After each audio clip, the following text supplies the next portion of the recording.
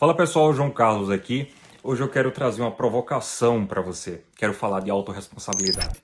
O quanto você é autorresponsável pela sua vida. O quanto você tem consciência de que tudo que acontece na sua vida é, é responsabilidade sua. E, e é importante ter essa consciência.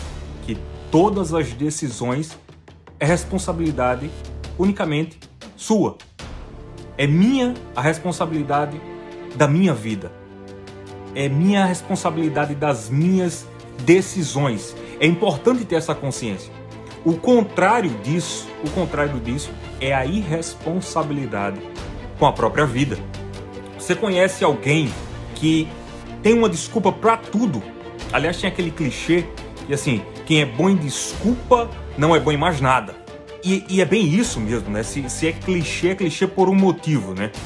E é bem isso mesmo. Tem aquela pessoa que, que fala assim: não, hoje tá chovendo, hoje não dá certo porque tá chovendo, ou então hoje tá muito sol. Não, eu só vou dar certo na vida o dia que eu casar. Ou então, quando eu divorciar, as coisas vão funcionar. Ou então, quando eu comprar minha casa, quando eu comprar o meu carro, sabe? Sempre tem que ter um porquê para tudo.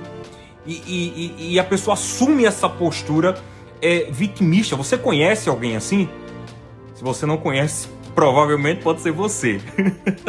Mas eu quero te provocar mesmo nesse sentido, para que a partir desse vídeo, de alguma forma eu desperte em você aqui a autorresponsabilidade. Sabe por quê? Porque não ter responsabilidade com a própria vida, ela não vai te levar para o caminho que você quer aquele ambiente de sucesso que você almeja, você não vai chegar lá se você não assumir a autorresponsabilidade da sua vida.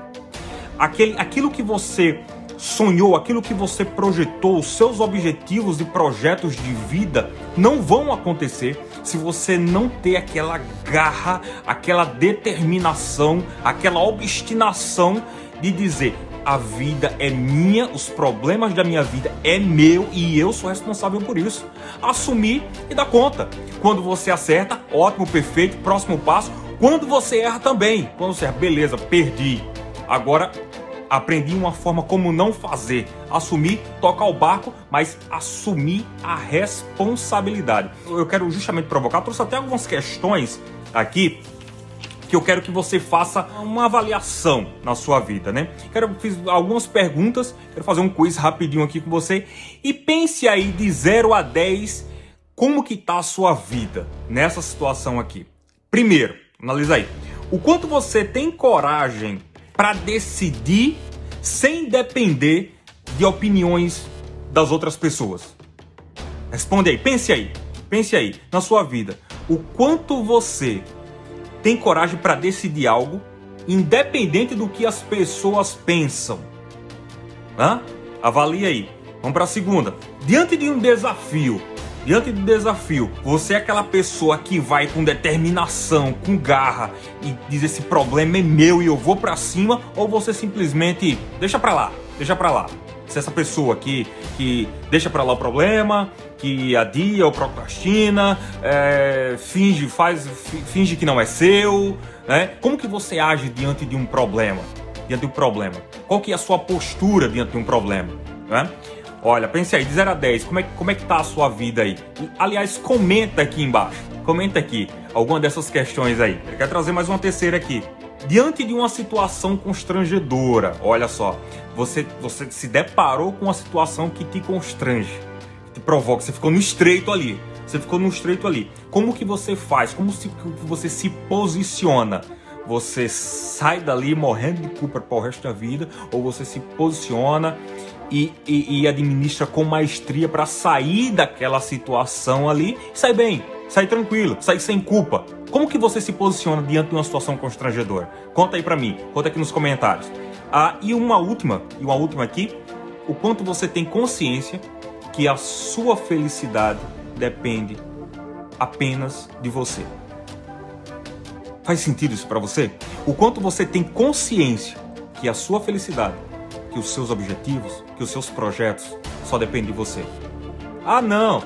Meus projetos eu tenho até um sonho, mas eu preciso do governo para eu, eu tenho um projeto, mas eu preciso de apoio dos amigos para eu preciso disso, mas sabe?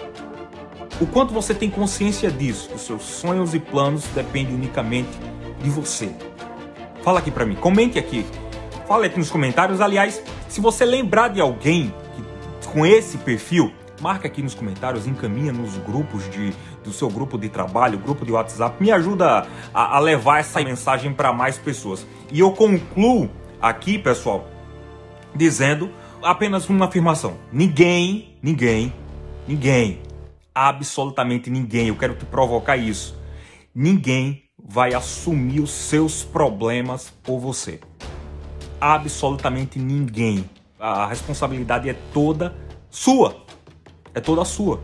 E que se você não decidir, que você não se posicionar, alguém vai tomar essa decisão por você e eu acredito que a decisão da pessoa não vai ser exatamente o que você queria, não vai ser exatamente o que você sonhou, o que você planejou. Então, já está passando da hora de você pegar as rédeas da situação da sua vida, se posicionar e dizer: peraí, o problema é meu, eu assumo. Sabe aquela coisa do filho é meu? Eu assumo.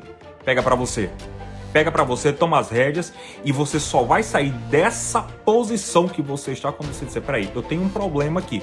Eu tenho um problema aqui e eu preciso resolver, não é ninguém precisa resolver. Eu preciso resolver. E muitas coisas, se posicionar, tá bem relacionado também à humildade. Hoje em dia ninguém quer dizer perdão, perdi. Ninguém fala mais isso. Né? Eu, eu, eu vou tentar de novo. Né? É, é muito orgulho é muito orgulho. Então, às vezes você se posicionar e dizer: peraí, eu perdi ou eu errei, me perdoe, eu quero voltar, eu quero refazer, eu quero uma nova chance. Né? Então, pense nisso. Marque aqui nos comentários pelo menos umas 4 ou 5 pessoas que veio à sua mente agora, encaminha para os seus grupos aí do WhatsApp, tanto da família, trabalho, todo mundo. Me ajuda a levar essa mensagem para mais pessoas. Um abraço, fiquem com Deus.